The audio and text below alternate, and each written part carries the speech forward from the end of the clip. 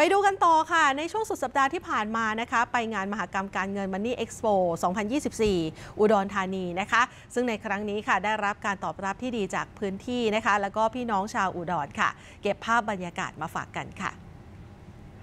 งานมหกรรมการเงินอุดรธานีครั้งที่ 21 จบไปเป็นที่เรียบร้อยแล้วค่ะ ในช่วงสุดสัปดาห์ที่ผ่านมานะคะ ประชาชนผู้ประกอบการชาวอุดร ภาคอีสานตอนบน เดินทางมาร่วมงานกันอย่างคึกคักค่ะ โดยมองหาผลิตภัณฑ์ทางการเงินที่หลากหลาย ทั้งสินเชื่อบ้าน สินเชื่อธุรกิจเงินฝาก สลากออมทรัพย์ ผลิตภัณฑ์ด้านการลงทุน และมีงานสัมมนานะคะ จากผู้เชี่ยวชาญด้านการลงทุนในตลาดเงินตลาดทุนด้วยค่ะ มาค่ะ มาทุกปีเลย พอเราทำธุรกรรมอะไรเขาก็จะมีรางวัลให้เราพอดีตอนนี้วันนี้ว่าจะมาซื้อสลากออมสิน ของรางวัลแจกมากมาย มีกิจกรรมให้เล่นค่ะอ่าตัวนี้น่าจะเป็นครั้งที่ 5 แล้วค่ะ ถ้าจำไม่ผิดที่มาเนี่ยพี่ก็เจตนาในเรื่องของเรื่องออมด้วยประกันชีวิตด้วยพี่ว่ามันเป็นสิ่งที่ที่ดี ก็อยากเชิญชวนทุกๆท่านนะคะ มางาน Money Expo รับรองว่าท่านจะได้รับสิ่งที่ดีๆ ที่มากมายเป็นประโยชน์ ถ้ามีโอกาสว่างเนี่ยจะมา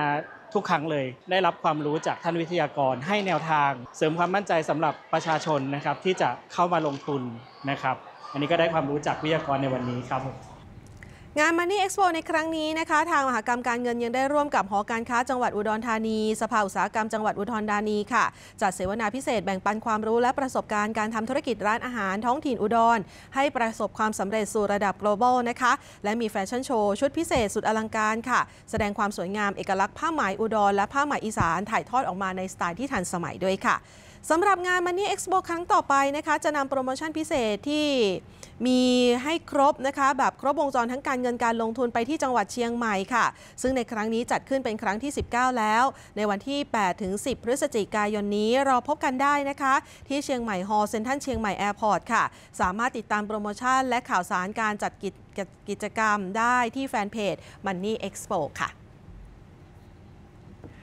งานเป็นไปอย่างคึกคักเลยทีเดียวนะคะ หลาย ๆ คนมาฟังทั้งงานสัมมนาค่ะ เราติดตามข้อมูลต่าง ๆ มาฝากคุณผู้ชมด้วยนะคะ ไม่ว่าจะเป็นสัมมนาของหอการค้าเองก็ดี เรื่องของสภาอุตสาหกรรมนะคะ และรวมไปถึงใครที่เป็นแฟนคลับของคุณปิงประกิตนะคะ ก็มีหุ้นมาฝากกันด้วย เดี๋ยวจะเอามาฝากในรายการนะคะ